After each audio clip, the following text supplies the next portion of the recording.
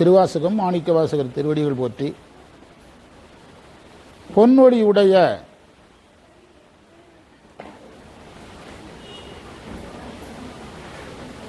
இறைவனுடைய திருவடிகளை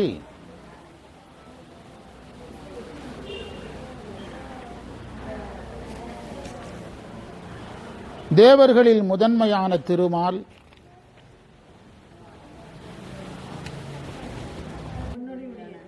ஆ.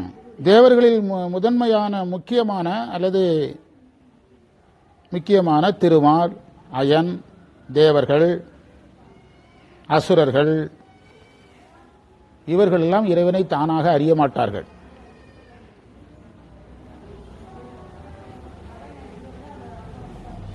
அறிய மாட்டார்கள்.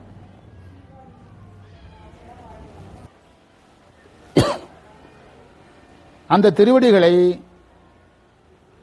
நாம் எளிதாக தெரிந்து வணங்குதல் முடியுமா? முடியாது. ஆனால் எனக்கு பக்குவம் வருவதற்கு முன்பே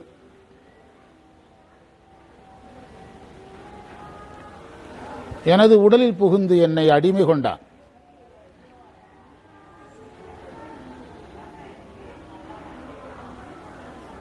பல பாம்புகளை நகையாக அணிந்தவன்.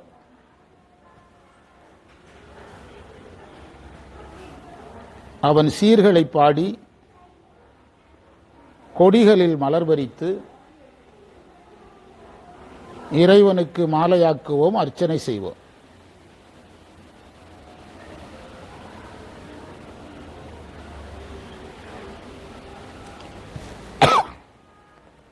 அழகாக ஒரு குறிப்பு கொடுத்திருக்கிறாரு. பாம்பு அல்லது நாகம்னு வருதுன்னு என்ன வருதோ அது. பாம்பு குண்டலினி சக்தியை குறிக்கும்.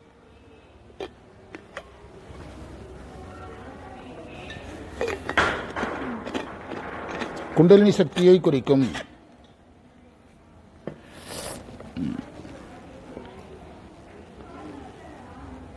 அது இறைவனுடைய வியப்பிற்குரிய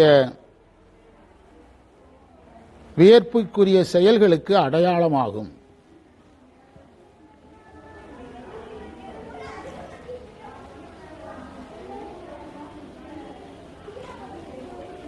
பெரிய இந்த மந்திரத்தை நம்ம இன்னும் கொஞ்சம் பார்க்கலாம். இதில் இந்திரன் பிரம்மன் மால் அசுரர் இவர்கள் இறைவனை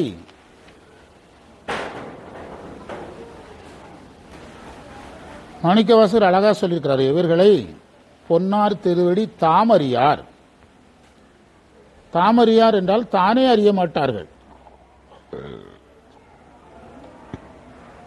அவர்கள் தேவர்களாக இருந்தாலும்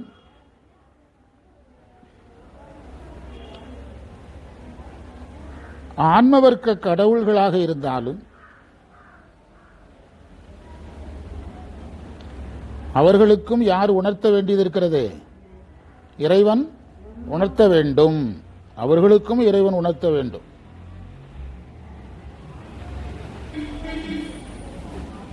இதில் தேவர்களை சொன்னவாறே அசுரர்களையும் சொல்லியிருக்கிறார்.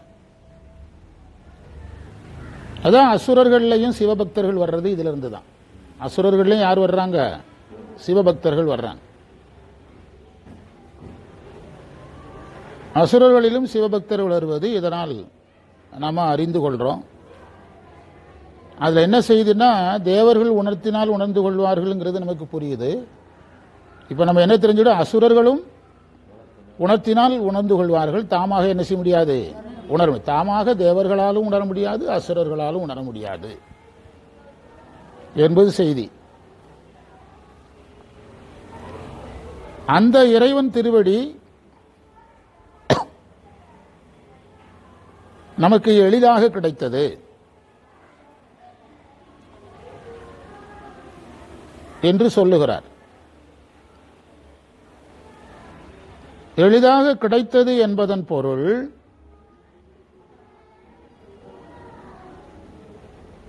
இறைவன் இந்த உயிர்களுக்கு எளிதாக கொடுக்க விரும்பினார் என்று பொருள் எடுக்க வேண்டும். எளிதாக வந்து கொடுக்கிறது யாருதான்? இறைவன் தான். எளிதாக வந்து கொடுக்க விரும்பினார்னு பொருள் எடுக்கணும். அதற்கு பிறகு விரும்பிய காரணம் என்னன்னு பார்க்கணும். அப்பதான் அது புரியும். அவ்வாறு விரும்பிய காரணம் என்ன? தேவர்களுக்கும் அசுரர்களுக்கும் செய்யாத ஒன்றை மானிடருக்கு செய்ய விரும்பிய காரணம். ஒன்று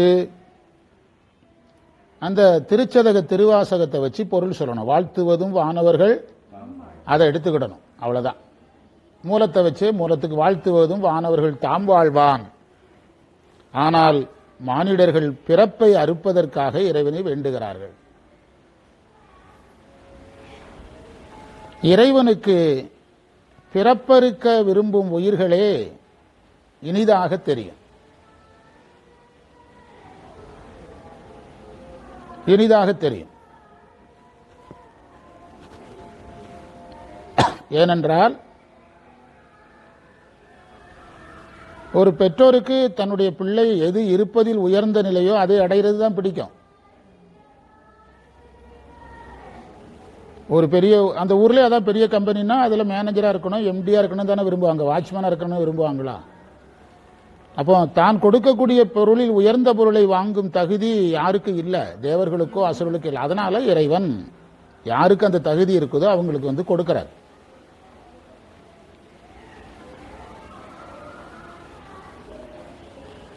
அசுரர்களுக்கு அதே தான் அசுரர்கள் வந்து பதவி விரும்பிகள் தேவர்கள் மற்றவங்கள மற்றவங்க நம்மளை விரும்பணும்னு விரும்புறவங்க.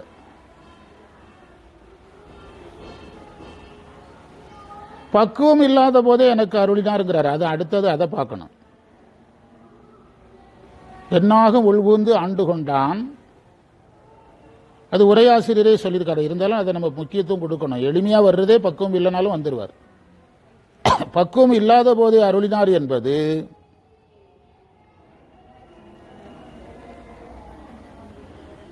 அந்த அருளை பெறுகின்ற தகுதியை கருணையால் கொடுத்தார்னு எடுக்கணும்.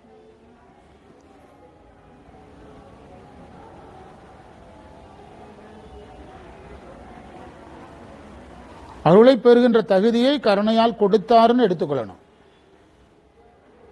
அதனாலதான் மாணிக்க வாசகர் அந்த வார்த்தையை சொல்லல. உரையாசிரியர் சொல்கிறார் சொல்றார் பக்குவம் வருவதற்கு முன்னேன்னு. பக்குவம் வருவதற்கு முன்பே இறைவன் எனக்கு அருள் செய்தார்னு மாணிக்க வாசகர் சொன்னா பொருந்தும் சார் நமக்கு பொருந்தாது. புரியுதா? உங்களுக்கு ஒரு குழந்தையை கூட பட்டத்தரசராக வந்து முடிவு செய்யலாம். ஒரு குழந்தையை கூட யாராக அறிவிக்கலாம்? பட்டத்தரசராக அறிவிக்கலாம். என்ன வருவதற்கு முன்பு? ஒரு அரசனாக இருப்பதற்கான தகுதி வருவதற்கு முன்பு பட்டரசன் என்று அறிவிக்கலாம். அது பதவி சார்ந்தது. ஆனால் இங்கே பக்குவம் சார்ந்ததில்ல. உயிருக்கு என்ன வரணும்? பக்குவம் வரணும் இல்லை இப்போ மதுரை ராணி மங்கம்மாள் வந்து அவங்க குடும்பத்தில் உள்ள ஒரு வாரிசு சின்ன குழந்தையா இருக்கும்போதே பட்டத்தும் பட்டம் சூட்டி வச்சுட்டு இவங்க தான் யாராக இருக்கிறாங்க? அரசராக இருக்கு. பக்குவம் வரலன்னா கூட பண்ணலாம். இது அப்படி கிடையாது. சைவ சித்தாந்த பிலாசபியை அடிபட்டுரும். பக்குவம் இல்லாமல் ஒரு உயிருக்கு அருள் செய்யப்பட்டதுன்னா அப்போ வந்து சரியை செஞ்சாலே வீடு பேர் அடையலாம் கிரியை செஞ்சாலே வீடு பேர் அடையலாம்னு என்ன செஞ்சிடும் ஆகி போயிடும் புரியுதா? இல்லை பக்குவம் இருப்பதற்கு முன்பே அருள் செய்தார்னா பக்குவம் இருப்பதற்கு முன்பே சரியை தந்தார்னு என்ன எடுக்கலாம். என்ன தந்தார்னு எடுத்துடக்கூடாது. தந்தாருன்னு எடுத்துடக்கூடாது அதில் கவனமாக இருக்கணும். ஆனால் மாணிக்க வாசகருக்கு அது பொருந்தும். நமக்கு என்ன செய்யாது? ஒரு ஆறு நாளையில் கண்ணப்பர் வீடு பெற்றார். நம்ம ஆறு நாளையில் பெற முடியாதுல்ல. நம்ம பலமுறை பேசியிருக்கிறோம். அதாவது இப்போ வந்து இருவினை உப்பு மலபரிபாகம் சத்தினிபாதம் வந்திருக்கணும்னு சொல்லுது தீக்கையினால. யாருக்கு வந்திருக்குது? தீக்கை கொடுக்குறவங்களுக்கு வந்திருக்குது. நமக்கு எங்கே வந்திருக்குது? எனக்கு வரல. நான் எனக்கு வராது தான் நான் சொல்ல முடியும். ஆனாலும் நம்ம என்ன செய்யறோம் தீக்கி வாங்கிட்டு என்ன செஞ்சிடறோம்? உட்கார்ந்துருக்கோம். எது போலன்னு முதல்ல சொல்லியிருக்கிறேன் எது போல? உயில் எழுதி வைப்பது போல குரு எழுதி வச்சுட்டாரு. ஆனால் நமக்கு அது வரல. அத்துவா சுத்தி வந்து பற்றுகளெல்லாம் போயிட்டா நமக்கு? எனக்கு போகலை. உங்களுக்கு போயிருக்கலாம். போனால் நீ உங்களை குருவாக ஏற்றுக்கலாம் அடுத்த வகுப்பு நீங்கள் பாடம் நடத்தலாம். ஒரு எனக்கு போகலைங்கிறது தான் நான் சொல்ல முடியும். புரியுதா? அதாவது அத்துவா சுத்தி குரு பண்ணுறாரு அவர் வரை அவர் முடிச்சிட்டாரு. ஆனால் என் உயிர் அதற்கு ஒத்துழைக்காதனால என் மனம் அது ஒத்துழைக்காதனால அது உயிர் எழுதப்பட்டதாக எதுக்குள்ளே இருக்கும்? ஒரு நாளும் போகாது. நான் என்று தகுதி பெறுகிறேனோ அன்னைக்கு தான் வேலை செய்யணும். நான் வேணா பெருமையா சொல்லிக்கிடலாம் நான் அந்த தீக்கை வாங்கியிருக்கேன் இந்த தீக்கை வாங்கியிருக்கேன். பெருமையாக பெருமையா வேணா சொல்லிவிடலாம். ஆனால் என் உயிருக்குள்ள அது என்ன செய்ததுங்கிற இந்த மூணு கண்டிஷன் ரொம்ப முக்கியம். இருவினை உப்பு மலபரிவாகம் வந்திருக்கணும். அவர் வந்து அத்துவா சுத்தியினால அவருக்கு அந்த பற்றுகள் என்ன செஞ்சிருக்கணும்? போயிருக்கணும். எல்லாத்தையும் வச்சுக்கிட்டு முனைப்பு இருக்கு எல்லாம் இருக்கு எல்லாம் வச்சுக்கிட்டு தான் நம்ம என்ன சொல்றோம்? தீக்கை வாங்கிட்டேன் தீக்கை வாங்கிட்டேங்கிறோம். குறை யார் மேல? நம்ம மேல யார் மேல கிடையாது. குரு மேல. குரு டெப்ப சொத்து எழுதி வச்சுட்டாரு. புரியுதா? எனவே இங்கு பக்குவம் என்பதை நாம் பக்குவம் வரும் முன்னே என்பதை எப்படி எடுக்கணும்? பக்குவம் வரும் முன்னே பக்குவம் தந்து ஆட்கொண்டான்னு எடுக்கணும். பக்குவம் இல்லாமலே என்ன செய்தான்னு பொருள் எடுக்கக்கூடாது. அப்படி பொருள் எடுக்கக்கூடாது. அப்போ எது அடிபட்டு போயிடும் பிலாசபி அடிபட்டு போய். எப்பவுமே நம்ம திருமுறை பேசும்போது எது அடிபடாம பார்க்கணும்? பிலாசபி வந்து அடிபடாம பார்க்கணும். இப்போ ப- இது சிவஞான முனிவர் சிவஞான போதத்துல சரியினால வீடு பேரு உண்டா? இல்லைங்கிறாரு. சரியை படிதான் கிரியை படிதான் யோகம் படிதான் தீக்கை சொல்லி தீக்கையும் படிதாங்கிறாரு. எது மூலமா தான் ஞா- வீடு? ஞானத்தை. காட்டியல்லது மோட்சத்தை கொடாங்கிற பிலாசபி அடிபட்டு பக்குவம் இல்லாமலே அருள் செய்தானா நீங்க சரியை தந்தான் கிரியை தந்தான் யோகம் தந்தான் ஞானம் தந்தான் கோயிலுக்கு போட சொன்னோம் தேவாரம் பாட சொன்னோம் அப்படி பொருள் எடுக்கலாமே தவிர என்ன தந்தான்னு சொல்லிடக்கூடாது. அதில் கவனமாக இருக்கும் ஒரே ஆசிரியர் ஏதோ ஒரு வார்த்தையை போட்டுருவாங்க. நம்ம கவனமாக இருக்கும். அதை அந்த இடத்தில் எடுத்துக்கொள்ள வேண்டும். அடுத்தது என் ஆகம் உள் புகுந்து என்றால் என் உடலுக்குள் புகுந்துன்னு அர்த்தம். என் உடலுக்குள் புகுந்து என்று பொருள்.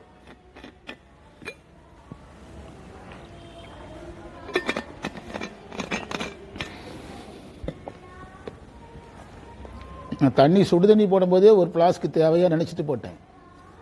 குடிக்க குடிக்க போயிட்டே இருக்குது வீட்டில் ஏதோ சாப்பிட்ட உணவு சில உணவு வந்து ட்ரை ஆயிரும் உடம்பு. ஏதோ சாப்பிட்டது வித்தியாசமாக இருக்கும் என் உடம்புக்குள் புகுந்தான்ங்கிறத கவனமாக பொருள் எடுக்கணும். உடம்புக்குள் புகுந்தான் என்பதன் பொருள்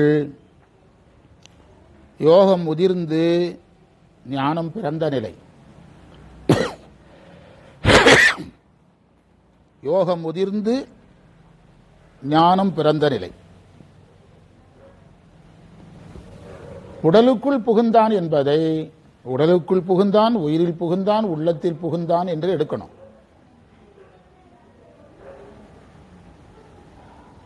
புகுதல் என்பது இந்த இடத்தில் விளங்கி நிற்றல் அர்த்தம். உயிரில் புகுந்தான்னா உயிரில் தான் ஏற்கனவே இருக்கிறாரா? உடம்பில் புகுந்தான்னா உடம்புல வந்து தடத்த நிலையில் இருந்துதான் ஆகணும். கலப்பினால் எதில் இருக்கணும்? இறைவன் இல்லாத பொருள் இல்லைன்னா எதுலையும் இருந்தாகணும்? எல்லாத்துலேயுமே இருந்தாகணுமே. அப்போ இருத்தலின் புகுந்தான் என்பதன் பொருள் என்ன? விளங்கி தோன்றினான் என்று பொருள் எடுக்கணும் இந்த இடத்துல தந்தது உந்தன்னைங்கிற மந்திரத்தை இணைச்சி படிக்கணும். நம்ம நேற்று முந்தா நாள் கூட சேர்த்து படித்தோம் தந்தது உந்தன்னை கொண்டது எந்தன்னை சங்கரா ஆர்வலோ சதுரர் அந்தமொன்றில்லா ஆனந்தம் பெற்றேன். அந்த தந்தது உந்தன்னை கொண்டது எந்தன்னைங்கிற இடத்துல கூட தந்தது உந்தன்னை கொண்டது எந்தன்னை சங்கரா ஆர்கோரோ சதுரர் அந்தமொன்றில்லா ஆனந்தம் பெற்றேன் யாது நீ பெற்றதுண்டு என்பாலும் கேட்கிறார்ல. அந்த இடத்துல தான் எனக்கு பக்குவம் இல்லை நீ எனக்கு நல்லது செஞ்சாங்கிறது மறைமுகமான செய்தி. சிந்தையே கோயில் கொண்டயம் பெருமான் உள்ளத்தில் இருக்கிறது. திருப்பெருந்துறையுரை சிவனே எந்தையே ஈசா உடலிடம் கொண்டாய். அதேதான். தான் அந்த மந்திரத்தில் இதில் இணைத்து படித்தா இன்னும் நிறைய படிக்கலாம்.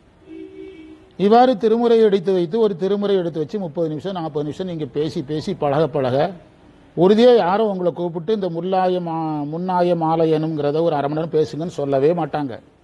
சொல்லதான் மாட்டாங்களே ஏன் பழகணும்னு நிறைய பேர் நினைக்கிறாங்க. அங்கே தான் தோற்க ஆரம்பிக்கிறோம். அங்கே தான் நம்ம தோற்க ஆரம்பிக்கிறோம்.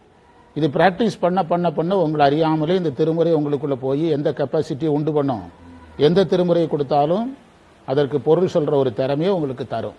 அதில் நம்ம உறுதியாக நிற்கணும் புரியுதா? அதுல உறுதியா நின்று அதுலயே ஒரே மாதிரி நின்று கொண்டே இருக்கணும். ம்.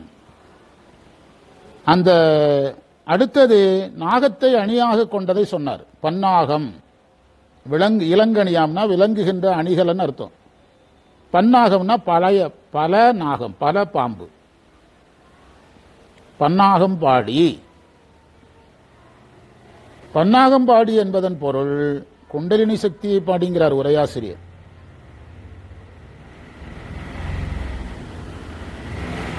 இங்கு குண்டலினி சக்தியை பாடி என்பதை குண்டலினி சக்தியாக சக்தி அருள் சக்தியாக மாறிய நிலை. குண்டலினி சக்தி என்ன சக்தியா மாறிய நிலை? அருள் சக்தியா மாறிய குண்டலினி சக்தி அருள் சக்தியாக மாறிய நிலைதான் இது அப்படின்னு மாணிக்கவாசகரே சொல்லல. நீங்க எதுக்கு சொல்றீங்கன்னு கேட்டா தலைப்பு என்னது பிற்கால தலைப்பு? மாயா விஷயம் நீக்குதல். அப்ப குண்டலினி சக்தி மறைப்பு சக்தியா இல்லாம என்ன சக்தியா மாறி ஆகணும் அருள் சக்தியா மாறினாதான் இந்த உடம்புக்குள்ள யார் வர முடியும்?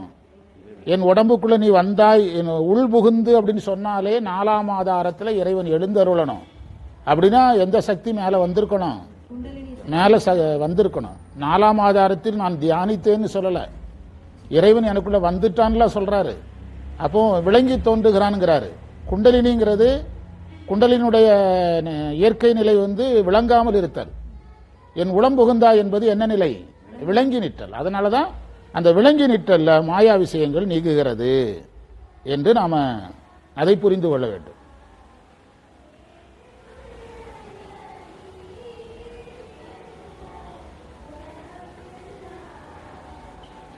அடுத்த மந்திரத்துக்கு பொருள் எழுதிட்டு போவோம். அடுத்த வகுப்புல சேர்த்து படிக்கலாம். முன்னாய மாலையனும் வானவரும் தானவரும் பொன்னார் திருவடி தாமரியார் போற்றுவதே என்னாகும் உள்புகுந்து. ஆண்டு கொண்டான் இளங்கணியாம் பன்னாகும் பாடினாம் பூவல்லி கொல்லாயும் கொய்யாமோ. சீரார் திருவடி சிந்திலம்பு தின்சிலம்பு சிலம்பொலிக்கே. ஆறாத ஆசையதாய் அழகான மந்திரம். அடியேன் அகமைகிழ. தேரார்ந்த வீதி பெருந்துரையான் திருநடம் செய் பேரானந்தம் பாடி பூவல்லி கொய்யாமா. உருக்கமான மந்திரம். பொருள் மட்டும் எழுதிட்டு போலாம். தேர் நிறைந்த தெருக்களை உடைய திருப்பெருந்துறை இறைவன்.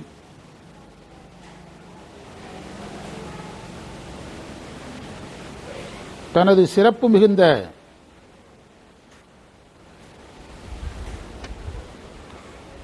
திருப்பாதங்களில் அணிந்த